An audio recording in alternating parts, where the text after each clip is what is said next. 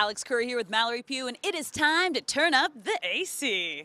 Yeah, that was crushed it. Now, fans sent us these questions. Okay. So we're gonna jump right in with Mo, who wants to know if you were stranded on a desert island, you can bring three teammates with you to survive. Who are you bringing with you? To survive? That's Yeah. so messed up. oh boy. Um. Okay, so I get to choose three. Three to help you survive on this island. Well, I feel like I would choose my friends. Like I would Yeah. choose Lindsey, Rose, and Sonnett.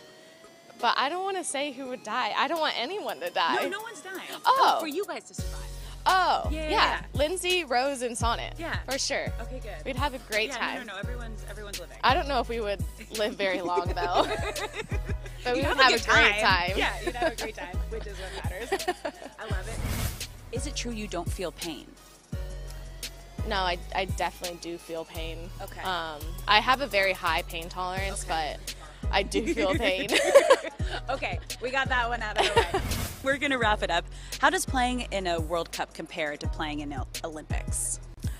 I feel like a World Cup um, is is like the ultimate soccer dream. Like that that is what you want to get to um, as a football player. So and playing in the Olympics like is different because you are like representing Team USA and um, and it's cool to have like different sports around and that kind of stuff. But in a World Cup, like it's purely just um, soccer and and that's the ultimate dream. So right now I'm I'm you could say living the dream, but You're living a dream. um, yeah. I love it. Thank you so much for joining yes, us. thank you. And thank you, fans, for sending in the questions.